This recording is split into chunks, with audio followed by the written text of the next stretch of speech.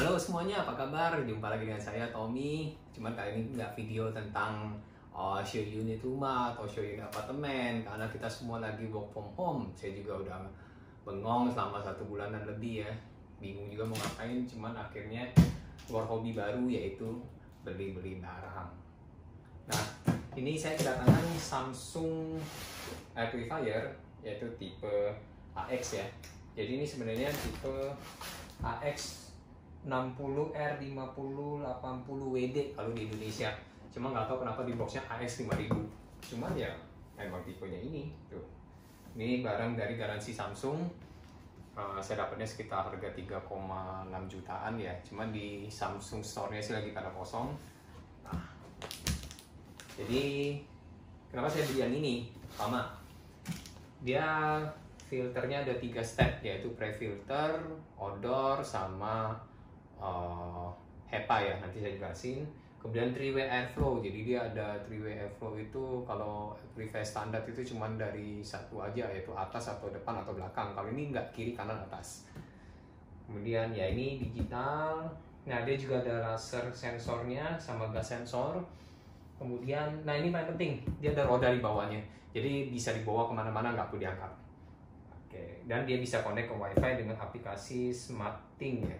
Jadi bisa bisa hidupin dari handphone, matiin, bisa cek status sama status penggantian filter. Jadi kalau misalnya filternya udah saatnya diganti, dia nanti bakal infoin di aplikasi tersebut atau di mesinnya langsung itu ada lampu blink kata kedip. Nah, ini barangnya seperti ini. Jadi ya, yuk kita unboxing.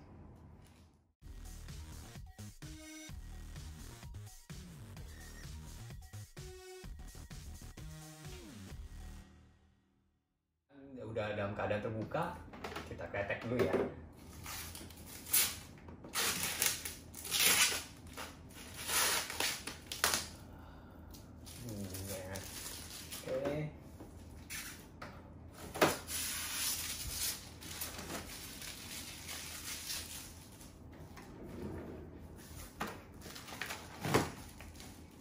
Ini juga kartu garansinya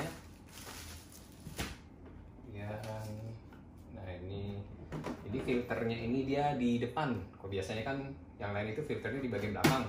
Cuma kalau yang Samsung ini dia filternya itu ada di bagian depan. Nah dia juga ngisapnya itu dari sini. Jadi belakangnya itu benar polos.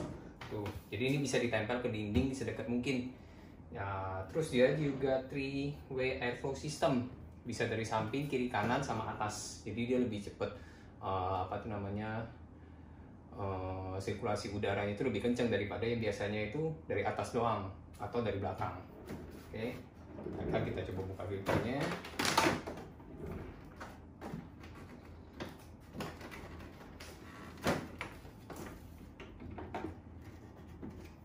Nah, jadi kalau tipe Samsung yang ini filternya itu ada tiga macam, yaitu yang pertama itu pre-filter, kemudian odor, yang ketiga baru HEPA filter. Jadi biasanya kalau misalnya uh, air purifier standarnya itu cuma ada satu doang HEPA filter doang. Jadi ini dia tiga lapis lebih bagus. Ini seperti ini. Ini kita buka dulu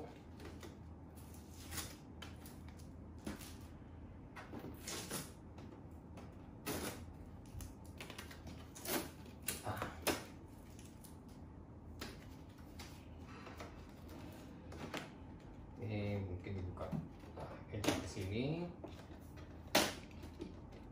oke. Nah. Ini filternya masih dalam keadaan tutup kayak gini. Ini benar-benar fresh. Nah ini ada keterangan ini remove plastic bag ini oke kita buka di filternya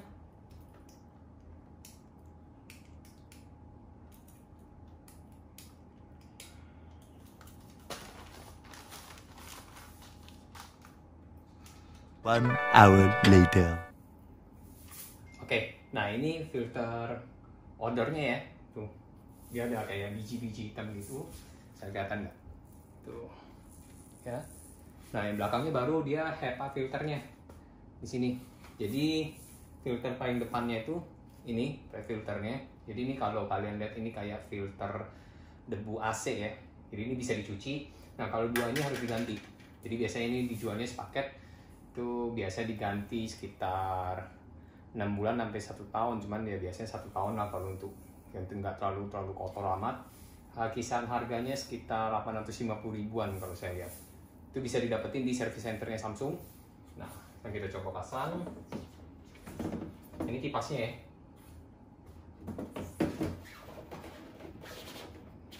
Oke setelah dipasang jangan lupa nih ada knob kunci. Diturunin aja. Baru pasang pre filternya. Jadi pasangnya gampang dia kayak pasang filter AC doang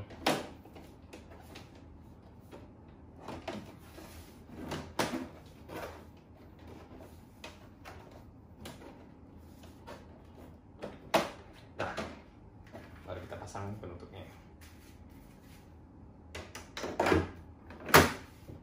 Nah oke okay, sekarang kita lihat. Ah ini nah ini dia ada laser PM sensor jadi ini memang masih ditutup sih.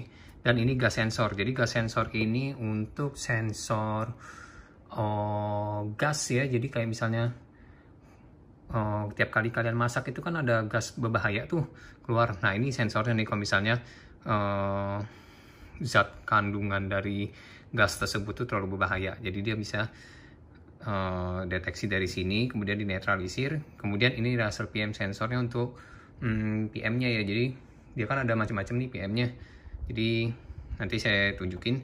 Ini diketekin dulu aja. Nah jadi ini yang sisi kanan airflow sistemnya. Ini sisi atas. Dan ini sisi kiri. Jadi dia ada tiga. Kiri kanan atas. Nah belakangnya polos. Nggak ada apa-apa. Jadi ini bener-bener bisa ditempel dideketin banget ke dinding. Bahkan satu senti pun nggak apa-apa. Karena dia ngisapnya dari bagian depan ini grill depan ini yang ada filter tadi. Nah sekarang kita coba. Hidupin oh ya dia bisa koneksi dengan Bixby juga ya. Jadi kalau misalnya punya handphone Samsung itu bisa pakai Bixby langsung. Dan ini juga bisa WiFi. Cuman saya nggak ada WiFi cuman nanti saya coba aja coba kita hidupin. Ini ada power fan speed sleep mode ini untuk tidur ada timernya juga lighting dan ini PM digit tadi yang dari sensor ini. Nah kita coba. Oke. Ini ciri khas Samsung ya. Dia simple. Ini sudah power on. Kita coba fan speednya. Auto tuh jadi nih tadi ini merah nih sekarang jadi orange merah lagi. Jadi dia warna beda-beda jadi nanti ada merah orange sama biru paling bagus itu hijau. Nah ini sensor gasnya. Jadi masih biru ya belum hijau. Paling bagus hijau katanya. Dan ini tuh merah lagi. Kita coba. Tuh kalau auto dia tiba-tiba kenceng sendiri kalau misalnya manual ini bisa. Ini dua.